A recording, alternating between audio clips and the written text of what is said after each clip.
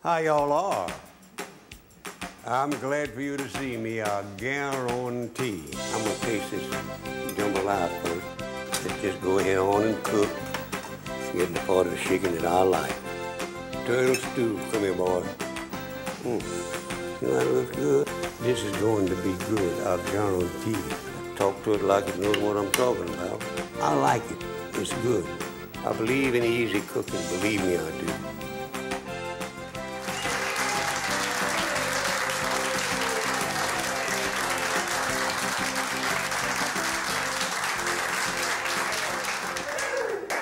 How y'all are? I'm glad for you to see me, I guarantee.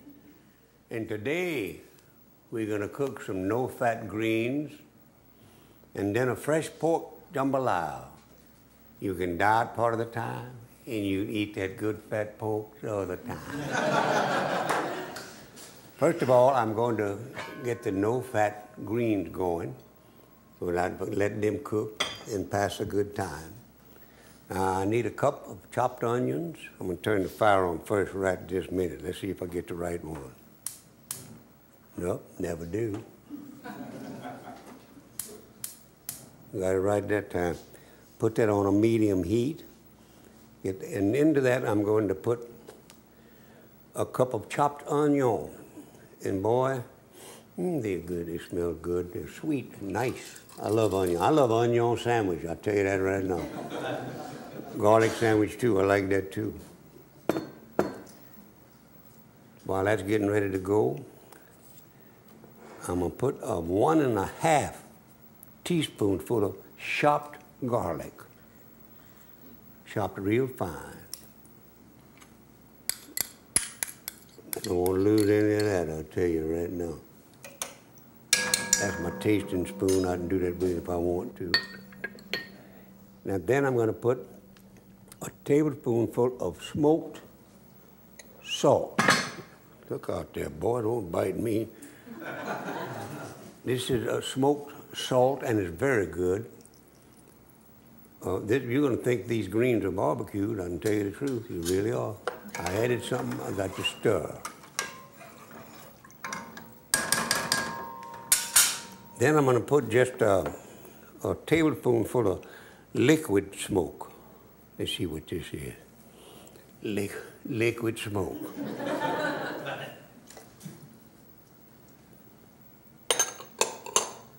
you think you're going to get out of me? You're wrong. You're going to get all of that in there. We need every bit of that.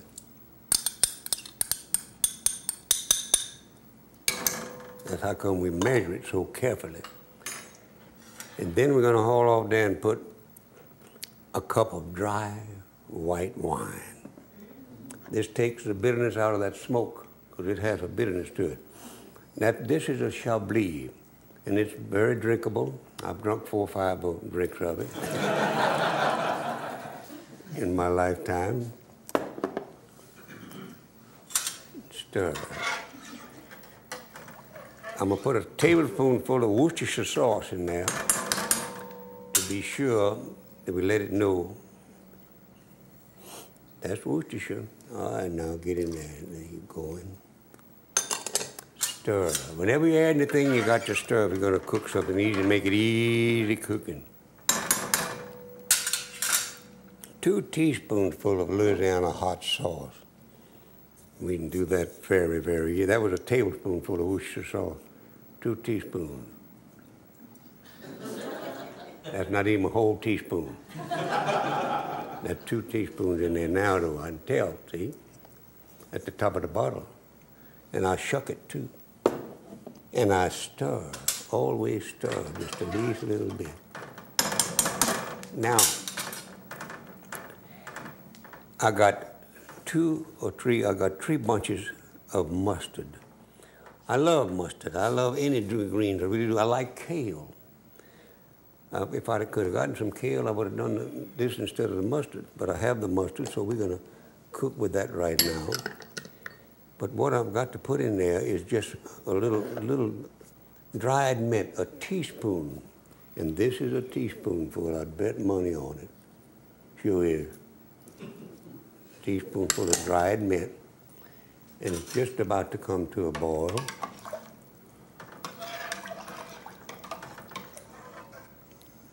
Now you, notice I haven't put any salt in there, but I've got to put a little salt in there. I don't care what anybody said, but you don't have to until you go to eat it. But it says it's three bunches of mustard, washed real well, and tough stem remove all that stuff. And I'm gonna, right now, put it in there and stir it into it. It's good mustard, cold too, in an ice box, in the refrigerator. You think that pot ain't gonna hold it? I bet you it does.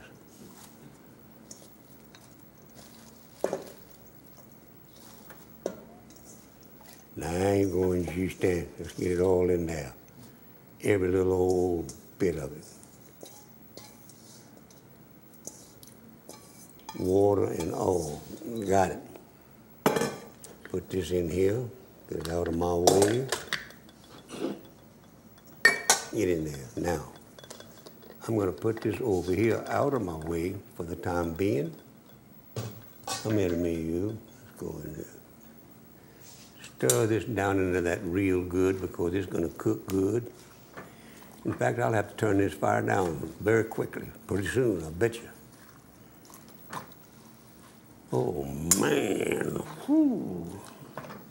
You know, I thought of some old Cajun stories I may have told before, but not lately. And I haven't heard them in a long time, and I'm planning on telling three or two of them today As soon as I get this going good and, and see about my jambalaya, get it started, I may just tell you a story or two. I guarantee.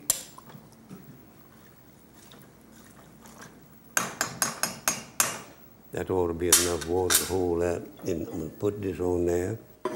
And I'm going to turn that fire down. Anything I can't stand is for something to boil over on me when I'm cooking a little bit. Come here to me, chair. I'm gonna put this on low, that's medium low, all the way on low, and that'll be just fine. Now, what I'm going to do is put this, I'll, I'll keep my recipes where I can see them because believe me, when you cook as many dishes as I cook, no two ways about it. You got to look at the recipe so, so you won't get it wrong, or see? Now, into this, I'm gonna put a little olive oil a couple of tablespoons full of olive oil to brown that nice pork to make a pork jambalaya. To me, that's the best jambalaya. There's no two ways about it. Every one I eat, I say, this is the best I ever tasted. It says here two tablespoons full. That's about right. Put that lid back on there good. I don't want to spill my olive oil, no. No. Now, let me turn that fire on. Got the right one that time, yeah. All the fires are going real good. I'm gonna put this on a medium, and I'm gonna put that pork in there and just brown the hell out of it. this is cut special for jambalaya. Let's get in there, boys. And it'll brown. Take a little time maybe, but it'll brown. Let's get down in there real good. And see what kind of fire I got on. I may have to put that on a medium. That's what it's on. I got to burn it. Now while that's starting, I got to tell y'all one story I haven't told in a long time. It happened years ago. You know, I'm a safety engineer. I wear both a belt and suspenders. I don't take chances. I've done a lot of safety work all over the world. And I'll tell you right now, I heard that they had a big meeting in Chicago called the National Safety Congress. Not like the one in Washington, D.C., but all about safety. Well, when I first started, I wanted to learn all I could because I needed, I needed to learn all I could. And uh, so I went up there. Went to a big boarding house called the Conrad Hilton. Walked in there, and there was a, a clock behind the, the desk, you know. He said, what can I do for you, partner, huh? I said, not a damn thing, partner. I got a reserve here. He said, you do? What's your name? I said, front name or behind name? He said, both of them. I said, "Justin Wilson. He don't understood that. He say, how you spell that? I'm so glad I could have just learned how. I spell it for him. He said, let me see. He said, I don't see. I said, wait, let's stop. You ain't no speed reader. I'll help you look in right now. He turned one page. I said, whoop, there's my name. He said, but you got to write your name on the register. I said, put out here. He put a little card out there, and I'm putting my name real careful because some people can read reading, but they can't read writing, you know how that is. and just when I get through printing my name good, right across it walked the biggest damn bed bug I never saw before again in my life. And I back up four, or three steps, and I looked that cluck right on the eye. I said, I want to tell you something. I've been bit by the flea in Shreveport, Louisiana, bled by the spider in Houston, Texas, and chased by the policemen in New Orleans, Louisiana. But that's the very first time I ever had a bed bug look up my room number in my life, I guarantee.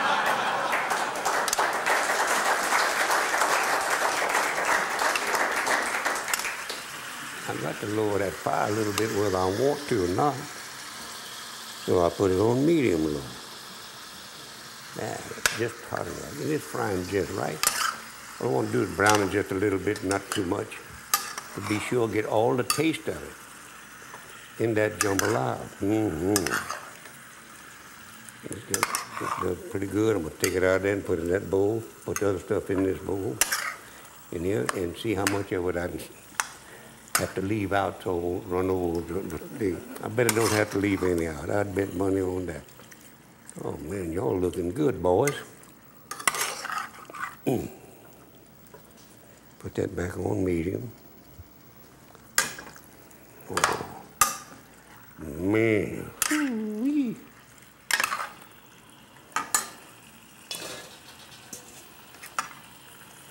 You browning pretty good, brown enough for me. I won't eat you until you cook more, though, I can tell you that. I like rare meat, but not rare pork taking it out of there. Then I'm gonna put some onion in that, all, all kind of goodies. And it all tastes good. That's the good part about it, yeah. Whew. Yes, sir. I take this out like this because I ain't gonna pick that old heavy thing up and drop some on the floor. I'd have to get down there and pick it up. Put it back in that pot with nobody looking. That ain't nice.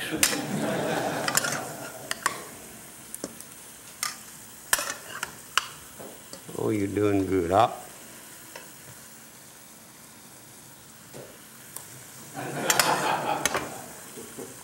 That landed on my recipe, and it's clean, I guarantee. Now I'm to have to pull this up and dump it in there. Don't send yourself on that fire, those used to. Worry not, man. I'm not to do that. And I got to keep my oil in the bottom because I'm to put them onion in there and I want them to kind of get clear looking before I put anything else on it. Because I'll put some bell pepper too, little things like that. Now that's pretty meat. That is beautiful jambalaya meat, I guarantee. Now get back on that way you belong. And you just go right over here for a minute or two. Now, into this, I'm to put three cup of onion chopped. Yes, sir. A half a cup of bell pepper chopped. Now I got to stir that in there like I'm supposed to. Stir that around. All right, onion, get the smell. Ooh, wee, that's to be good. Yeah, I smell it already. Into that, I'm to put some parsley, a cup one cup of chopped parsley. Get in there. Got it. And stir that in.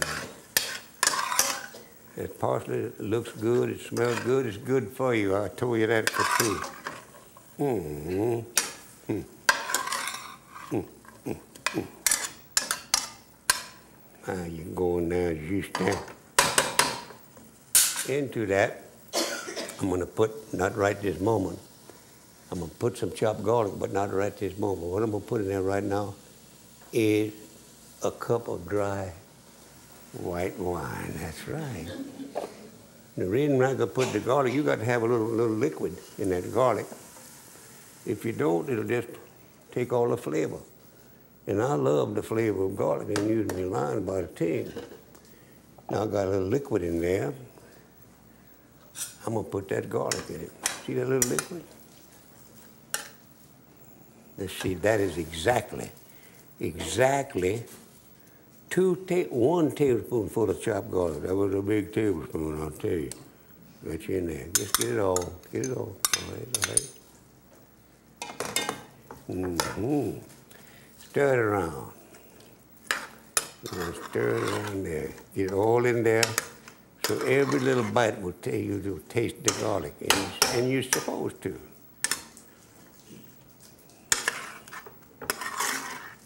Mm-hmm.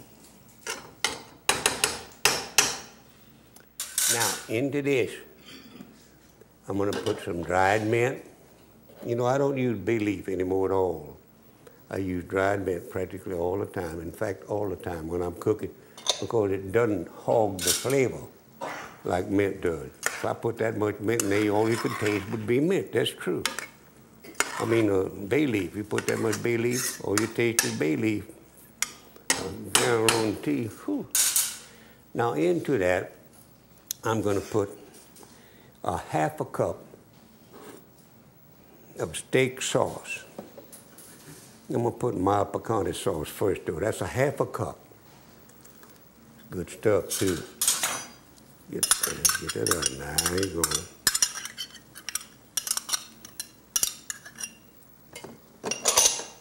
And stir it in there good. Hmm. Smelling good already. Now I'm going to put a half a cup of steak sauce, good steak sauce. Actually, it's Creole ketchup. That's what all steak sauce was one time I was told. I'm not going to swear to that because it would be, I may commit perjury and I don't want to do that, no. And this athletic nose smells that. And it smells so good that let me, that made me remember what it was right there on my face. Stir that in. Now I got to put just a little salt. I got a lot of meat and a lot of stuff here, so I don't know how little the salt's going to be. I'm going to put in there right now about three teaspoonsful of salt. That's one. Y'all don't believe me, but I guarantee that's a teaspoonful of salt. Come here, spoon. Are, teaspoon? Let's just show these people I know what I'm talking about. You see that teaspoonful of salt? That's all it is. That's two. Three. I usually put a teaspoonful of salt in for, for every cup of rice, and I got three cup of rice over there, and I got some other vegetables here, so I'm gonna have to add another teaspoonful of salt or just a little sliver or so, you know, just to be sure I got enough in there. Now into this, I'm gonna, now we've got a, enough fire going where I can put some rice. Three cup of rice is what I got right here. Three cup. Got to put a little cayenne pepper in here after I get the rice. Put that in there and stir it in. I'm gonna put the meat and then the hot pepper. Put the meat in there. Ooh, wee, that's smelling good here. Y'all smell it? Man, that's gonna be good, yeah. Let's just put a little water on that. Come here, water. Don't act funny. Just come on over here. Let's get in there with a little of you. Now you put water in here about an inch above the rice. So I'm gonna add a little more water in just a few minutes, but I'm gonna put the meat in there. So I know how much meat, how much rice I got in this doggone thing. I uh, hope I can get all this in here. I don't know if I can or not. But you know what? I'd bet money on me. Because rice is gonna take up all the water. We're gonna put this in here just like we're supposed to. The whole thing, maybe. Yeah, let's put it all in there. In here, not on the floor. You didn't think I was going to get that in there, did you? I didn't either. but I got to stir that rice up into this, pour a little more water, because all this will shrink as it cooks, believe it or not. The rice will take up all the water that I put in it, and then the meat will be mixed up with the rice, and we'll put a little more salt. I'm telling you, that's not enough for all that meat. Now, I know how much I'm putting in there. You may not know, but I know. Here's the water, right here. I got to cover that with water. Now, you know, I look like that may go boil over, but it's not. Hope not, anyhow. That's just about right. Mm-hmm. How that rice is there? Just bring it up over this. Get some of it on top of that meat so I can tell if it's a half inch of rice. I'll be able to tell, don't you worry. I've been doing this a long time. A couple of days. That's right. All right, now let's go here. You're looking good. You're looking like you're supposed to look. I'm going to cut that fire down a little bit. I'm not going to put the lid on it yet because when I put the lid on it, practically all the water's gone. And that should have just a little bit more water in it. I hate to do this to it, but I got to. Got it. Three tablespoons and a half full of water. Now, ooh boy. While I'm standing up here, I'll tell you the rest of that story I was telling you a while ago about me at that safety safety congress they got in Chicago. Me, let me look at this. Going good, going good. Cook, baby, cook. And I'm gonna lower this fire to a, a medium low. I sit down like that so I can read the damn thing. Hey, got it. I put it on low actually. I Stir it one more once and let it cook a while. Then I'm gonna put the lid on it and it, that rice will just steam.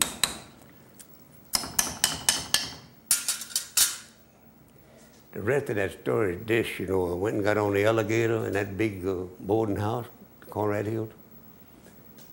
On the alligator, and there was a, a, lady on there with a little boy cheering, about nine, eight years old, cute little boy. And she got about a hand real good, don't want to lose him.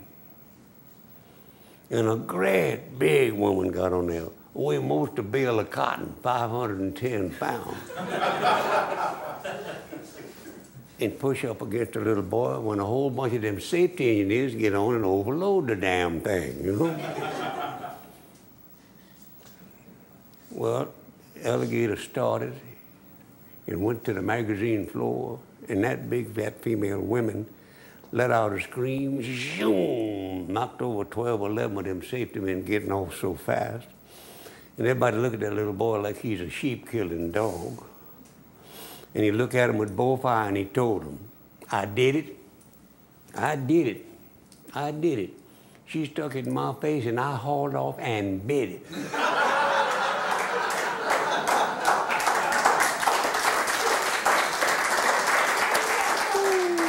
Man, I got to ta- I got to taste some of this food to be sure. It is uh, it tastes good to the people who are going to eat it. Now, this is jambalaya.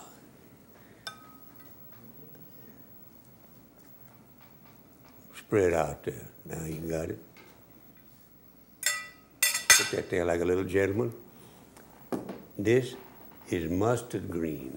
I like any kind of green. Mustard green, kale, cabbage, turnip green, anything you got that's green, I will eat it. I'll eat anything else you got too, most probably. Now I got to put my napkin on like a little gentleman and fix this up right. Come here, red napkin. Tuck it in your belt so it won't drop on the floor. Now you got it right. Eh, spread out. Oh, of course I'm gonna pour a little, little wine, a little red wine. Maybe you're supposed to eat some other kind of wine with pork, but I like red wine, so that's what we're going to have right now. And I got to taste these greens first because they look like they're good. Come in green. Mm-hmm, mm-hmm. Mm, I guarantee. Now. Mm-hmm.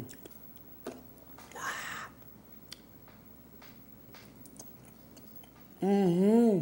Mm-hmm. Mm-hmm.